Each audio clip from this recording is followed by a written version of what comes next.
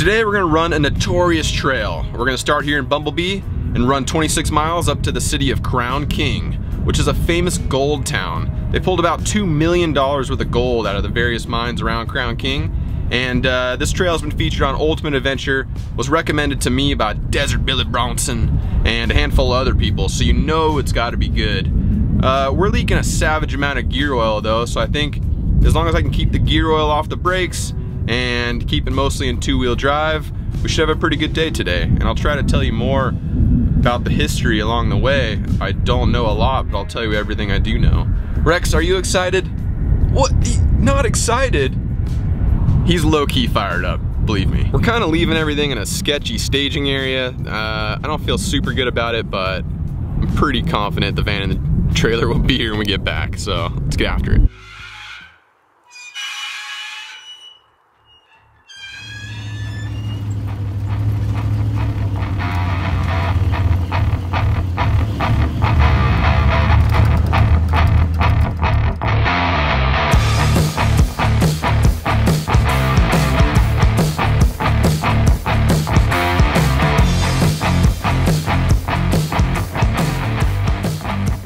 The first place of interest past Bumblebee on this route is a town formerly known as Turkey. With roots that go as far back as 1864, as a gold mining boomtown, in 1925 the town turned ghostly, but also donned a way cooler name, Cletus. Wait, no, uh, uh, uh, uh, Cleator. In modern times, the town is somewhat of a touristy bar stop, and being that I'm not a drinker at all, I creeped right on past this small, dusty watering hole, on my way to greener pastures.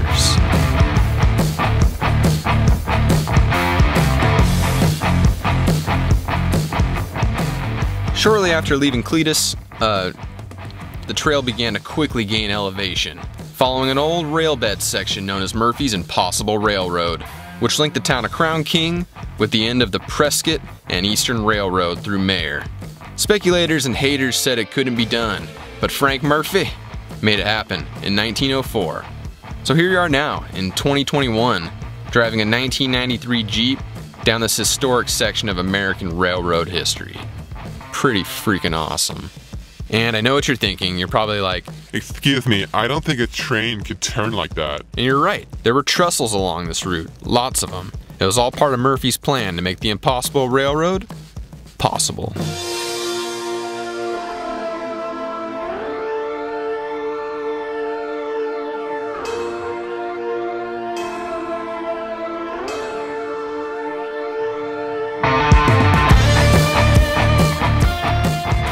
After a couple hours negotiating trail traffic and taking many filming breaks, we arrived atop the Bradshaw Mountains, amongst the Ponderosa Pines, at the notorious town of Crown King.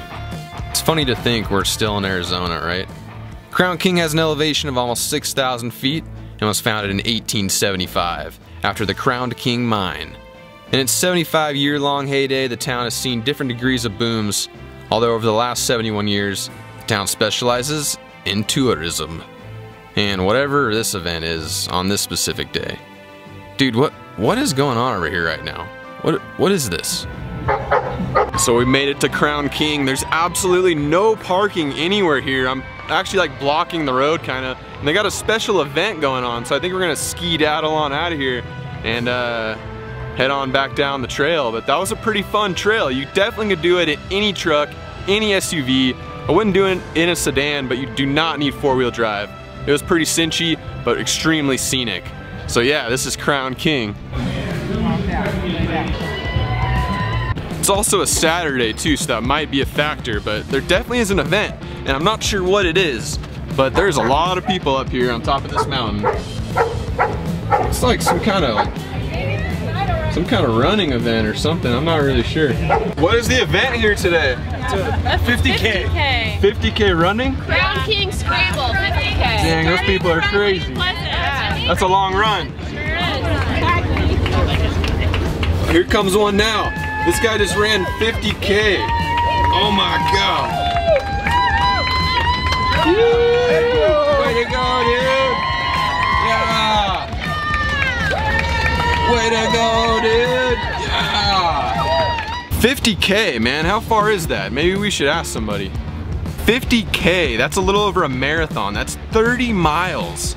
These people are absolutely insane. I'm kind of worn out just from driving 26. I can only imagine running 30, that's wild. That, you guys did it? Yeah. Dang, you're crazy, man.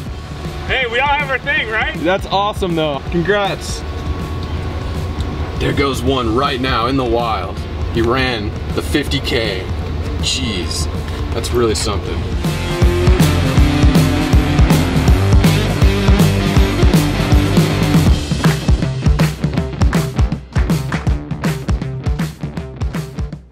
And then right after that, I crashed my drone into the sweatpants boner on the front of my Jeep here. So that's the end of that. Broke two out of the four blades. So I'm gonna need to get some blades like quick status because I need this thing not only for YouTube next week, but I'm also making a video outside of YouTube and I'm gonna need a drone for it. Actually, wait, let's conduct an experiment here. Uh, it's kind of acting a little weird. It's like drifting a little bit.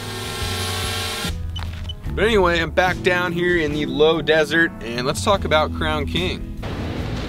Crown King, this trail is about 52 miles long and took me about four and a half hours to complete round trip. Although you could have done it way faster, I was just pulling over a lot to take breaks. Yeah, you probably could have done it maybe an hour there, hour back. Two hours total, you could probably do this trail realistically. Some things that surprised me about this trail were the amount of people that were here today. It was a packed house. Everyone in Arizona was out here today and probably because it's a Saturday and there was also an event today which, you know, those two things make for just a lot of people. But it was a lot of fun and something else that took me by surprise were the views. I knew the views are gonna be really picturesque and really nice and this video is not even gonna come, come close to doing it justice. But yeah, the views just didn't stop, especially coming back from Crown King to where we are now. Just epic views as far as your eyes can see. And uh, it's totally one of those things that you can't really watch a video to experience. You gotta just kind of come here and see them with your own eyeballs, which, you know, it's kind of how a lot of things are, but what else, man? Uh, the weather, I'm surprised I didn't need a jacket at all. I was completely prepared to bundle up once we got up to Crown King Granted, we didn't really stick around that long, but yeah, it wasn't too cold at all. It was total tank weather the whole time, which is fantastic. Anyway, that's about all I got for you. My back is absolutely destroyed from today. Uh, yeah, it, it got punished the entire time. So I'm gonna rush back to the van, edit up this video, and hurry to get it out in less than 24 hours. And that's all I got for you guys in this one. I'll see you guys next time on Wednesday.